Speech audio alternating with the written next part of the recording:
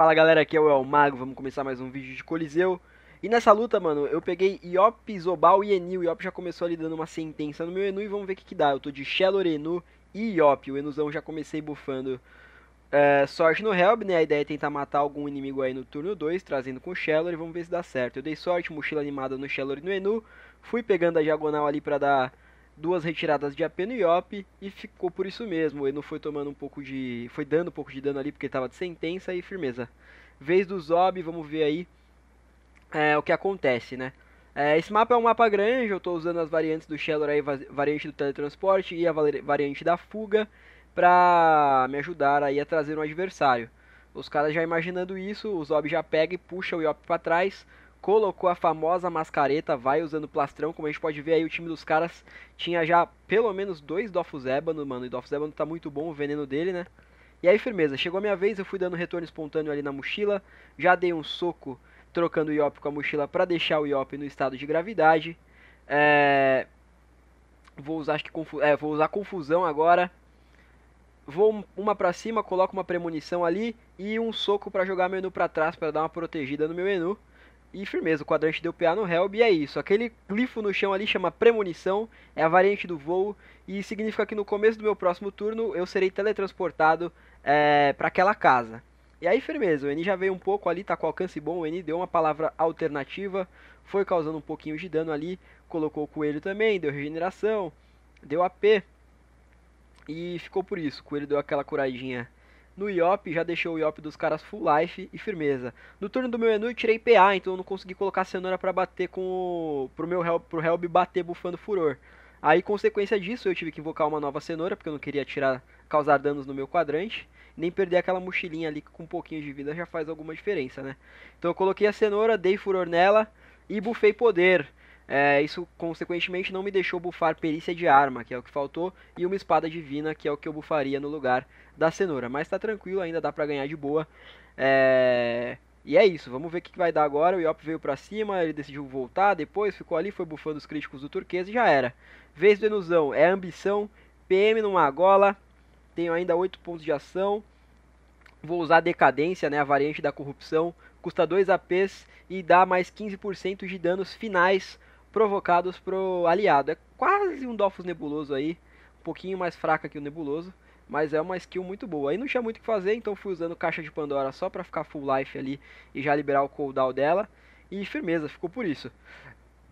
Chega a vez do Zob, vamos ver o que ele vai fazer. Como vocês podem ver, os caras estão aí com mais de mil de escudo, cada um deles, 1400 aí mais ou menos. E vamos ver, né? Os caras têm Nebuloso, aliás, tem Abissal, tem Marfim, Barbissal, ó, tem ébano e, marfim e firmeza. O cara foi dando torturuga, deixou o Iop aí com 2k de escudo praticamente. E correu o máximo que conseguiu, mano. A mascareta veio pra cima e firmeza, vez do magão. É, nessa hora eu pensei que eu poderia trazer, o mais correto é trazer o Zobal nessas horas, né? Ou qualquer um menos o Eni na realidade, né? Então firmeza, já fui colocando ali o Cúmplice, usei Pêndulo, usei Fenda Temporal, dei retorno espontâneo em mim, retorno espontâneo no Iop, fui removendo o Iop ali com suspensão temporal, porque ele estava já no estado de gravidade, me rebobinei e fui o máximo para cima ali, para já ficar mais próximo dos inimigos, pensando já no meu próximo turno. Porque aí eu posso dar um retorno espontâneo no Shello no próximo turno e já ir lá para cima deles. E o Iop, mano, eu trouxe, ele tá com 5.579 de vida e 500 e pouco de escudo. E aquela removida também foi bom, porque eu tirei o marfim do Iop e tirei um pouco de escudo dele, né? Aí o N já veio pra cima, descendo o morro da Vossa Evelina. Veio na loucura pra cima, na esperança de que o Yop vivesse, afinal ele joga depois do meu. Mas aí, amigão, com o Helb é sem massagem, velho. É duas erosão aí de 900 na cabeça, a martelada de 2200. Quase que eu matasse, quase que dava para matar no furor aí sem precisar mutilar, mas aí eu tive que mutilar. Dei um furor que não gritou uma concentração para finalizar e ainda me sobraram dois pontos de ação, mano. Então esse combo do Helb aí bateu nada menos do que 6 mil aí, 6 mil e um pouquinho de dano no turno e ainda sobrou AP, mano, dava pra bater uns 6.700 aí se critasse, se critasse tudo chegava em 7 mil tranquilamente, mano. Então foi um combo do caralho, arregaçou aí, não teve ideia pro menino Yop e ele já foi quitando ali no meio do turno do Helb, nem esperou o turno acabar e já quitou, né. Aí chegou a vez do Enu, eu fui pra cima, tirei uns APs de Eni, coloquei aquela pá, porque eu queria que a pá empurrasse o Eni pra perto de nós, mas não foi o que aconteceu. Ela isolou um pouco o Eni. E firmeza, mano, tá tranquilo agora, tá favorável. 3x2 situation. Então tá de boa, mano. O Zob vai mostrando aí também que ele não tá de brincadeira, deu duas picadas aí, bateu bastante no meu Enu. E é isso, mano. Trocou aí pra máscara psicopata e tá de boa ali. E vamos ver o que, que vai rolar. Também pegou um veneninho do, do Ébano lá no Enu e se bufou escudos.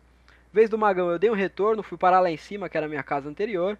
É, e aí fiquei mais ou menos receoso, não sabia se esse tinha muito dano, então fui pra cima dele ali. Dei um retorno espontâneo nele, tenho 9 pontos de ação ainda. Uso duas vezes desaceleração, tirando 4 APs. E um relógio que tira mais 4 APs, tirei 8 APs do Eni nesse turno sozinho. É, o Enu já tinha tirado alguns, então a Eni ficou com apenas 1 AP. A Eni que tinha 71 de esquiva AP, mano. E aí ela não tem muito o que fazer, né, mano? Chega a vez dela. Vamos ver o que ela faz. Ela tá com um bônus de nível 5 ali do Dolphus Ebon, ou seja, quando bater vai ter um bônus de 5% de danos finais e vai me dar um veneno aí no seu melhor elemento. É, ela deu uma curada ali no Zobal, com Juventude, foi removendo ele. E aí os PA dela também já acabaram. Ela tá segurando o turno ali só pra me deixar emputecido aqui falando com vocês. Já pra, pedindo pra você deixar seu like e se inscrever aí, né, mano? Não vai esquecer de fazer isso, por favor, que isso nos ajuda muito. Firmeza, o turno do Enin acabou. Vai chegando minha vez, eu dou aquela soprada na mascareta. Vou bufando um furorzinho tranquilo. Vem tranquilo. O Helb falou vem tranquilo pro cara, né, mano? Chamou o Iopão na Shinji e falou, vem tranquilo, a gente nem viu o Iopão batendo. Só deu pra saber que ele era de Inch, porque no turno 1 ele deu uma sentença lá, é, um pouco envergonhada no Enu, e foi isso, mano. Chega a vez do Enu agora, vou dando ali a Macharraia na mascareta, meu Enu que tá de age, retirada P. E é isso, matei a mascareta, vou ali pra cima, bato uma vez na minha pá animada pra me curar um pouquinho. Também tirei PAs da pá, uh, mas o PA é relevante, eu só queria me curar mesmo com o Enu. Se ela empurrasse o Eni ou não, por mim tanto fazia. Chega a vez do Zob. E eu acho que ele já quitou, né, mano? Se pá? Ou ainda não?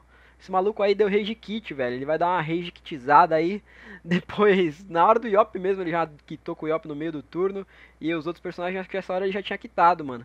Então agora é só acabar com a luta aí, só bater nos caras e alegria. Eu fui trocando ali com o Eni, liberei ele pra já ficar lá perto do Helb. E agora eu vou ficar aí brisando igual um doido. já devia ter começado a bater no Zob, mas eu coloco ele no estado. É, já trouxe os dois, né, também. Já dá aquela ajudada, já deixa os dois mais perto aí do meu time. E firmeza. É, nessa hora o cara já tinha quitado mesmo, mano, porque foi sem massagem. é, o Eni quando viu que... O Zobal ainda tentou um pouco, depois de ter perdido o Yop, eles falaram, ah, vamos tentar focar no Enu e matar rápido. Só que aí, depois disso, depois da jogada do Zobal, eu já joguei com o Shellor e zerei o Eni. E aí o cara viu que não tinha o que fazer, né, mano? Quando esse tipo de combo Blitz encaixa, é sem massagem, é sem ideia. E aí não tem o que os caras fazerem muito não, mano.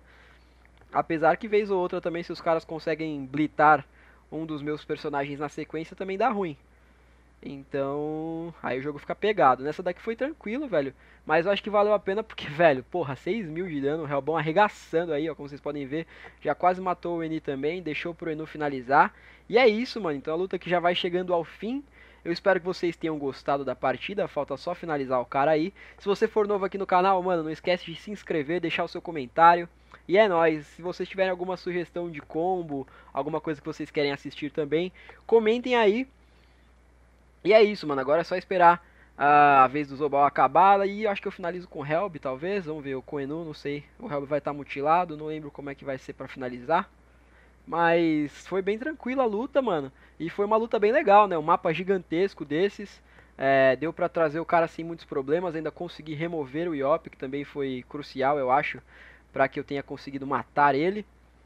E é isso, mano. Eu pensei em tentar combar ele ali agora com com o Synchro, mas vai, vai faltar PA, eu não vou conseguir, mano. Infelizmente, essa, esse soco aí, ó, não vai dar certo pra jogar ele lá pra cima, porque não vai ter visão, tinha que ter ido uma pra baixo. Mas aí ficaria no lugar que eu devia ir, enfim. Não deu pra comprar na sincradinha, então só bati e deixei perto do Helb. E é isso, o Helbon vai dar a martelada e o furor. E acho que o Enu finaliza esse hein? É isso mesmo. O Enu deu a martelada e o furor, bateu 2k e pouco ali com 8 APs. E já era, o Enu chega dando a machadada pra finalizar. Então é isso aí, galera. Espero que vocês tenham gostado desse vídeo. No final dessa partida ainda foi a MD10 do meu Enu. Ele saiu ouro 7, mano. Saiu mais ou menos, né? Mas tá bom, é pela cota também que sai. Então é isso aí, galera. Espero que vocês tenham gostado. Se inscrevam aí, deixem seu comentário se eu gostei, que isso nos ajuda demais. Valeu, é nóis, falou, fui!